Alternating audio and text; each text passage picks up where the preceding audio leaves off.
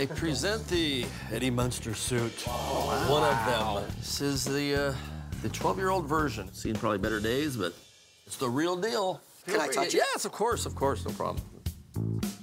So this is the original color and everything. Yep. So, you know, you never it was black and white, so Yeah. I didn't know. I didn't think it was In so the movie, brown. in the color movie, it was a purple suit. But in, during the shooting of the show, it was this, like this mushroom color. But um, that was probably the worst part of the show because I thought it was like a sissy suit, you know, and knee socks and a little bow tie and a little Lord Fauntleroy suit. That was the coolest outfit ever. I mean, I'm not kidding around, man. I could show up to school in Lily's gown and be less like a target than you would be wearing that.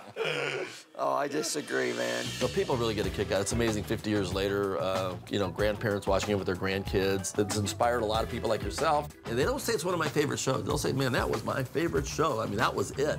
Hey, Butch, it's getting a little late. We got to uh, get you to the airport. Yeah. Get you on an airplane. Really? Yeah, yeah, I'm sorry. Time's short. Yeah. On the fly. It was a pleasure, though. Thank you so much for coming down. It No, was a thank you, guys. Robert, thank you. All right. I have to take my suit. Hope you don't mind. I, I, I, It's leaving. Bye-bye, guys. right, Take care, guys. I'll see you all later. See you later. later, guys.